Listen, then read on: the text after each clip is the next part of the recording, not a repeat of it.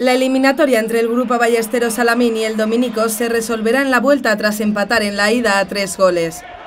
Los salamineros dieron de esta forma la sorpresa, puesto que sobre el papel el conjunto levantino era el claro favorito. El cuadro alcarreño tiró de casta y calidad para tutear a un equipo al que le sobra dinero y fuste, pero que nunca pudo imponer su juego en el Santa María. Y eso que la primera parte apuntaba todo lo contrario. El Dominicos, con ex de división de honor como Pasariño y Silami, tenía la posesión y también la mayoría de oportunidades. Sin embargo, los de José Minaya no renunciaban al contragolpe y terminaron adelantándose desde el punto de doble penalti a cinco minutos para el descanso. Lamentablemente, la alegría duró poco en el Santa María, puesto que Silami devolvió las tablas al electrónico apenas 60 segundos más tarde a la salida de un córner. Tras el paso por los vestuarios, se produjo la jugada que cambió el choque. Un resbalón del goleador alaminero Alvarito dejó en bandeja el gol para Gomis. Sin embargo, el tanto, lejos de hundir a los locales, les espoleó y la contienda pasó a tener color amarillo.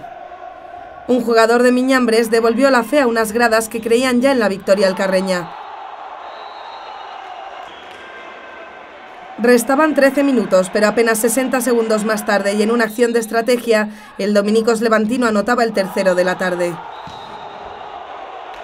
El gol dejó momentáneamente tocados a los de Minaya, pero Larios salió al rescate con un libre directo formidable a ocho minutos de la conclusión. El Dominicos, que no se esperaba tantas dificultades, retrocedió y se encomendó a los contragolpes o algún error local.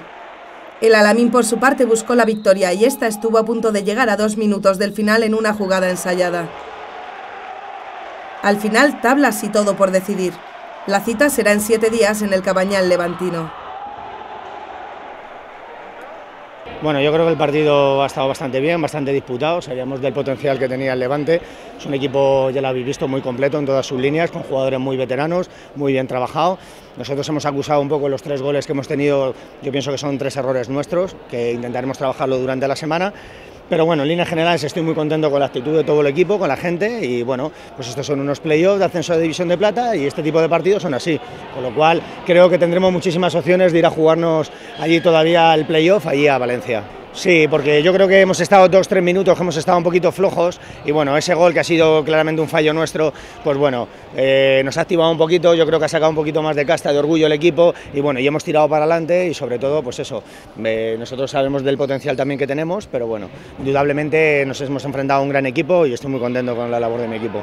Hombre, eliminatoria abierta, nosotros vamos a acusar mucho los tres goles que hemos encajado aquí en casa, date cuenta que ahora mismo eh, el ir a jugar allí, ellos llenan su pabellón, trabajan muy bien, y bueno, yo creo que como todo el mundo ha podido ver aquí es un equipo muy, muy, muy, muy compacto. Entonces, bueno, nosotros intentaremos ahí ir a competir, yo creo que tengo un par de bajas para, para ir allí y bueno, intentaremos pelear, que este es el signo y el lema de este club.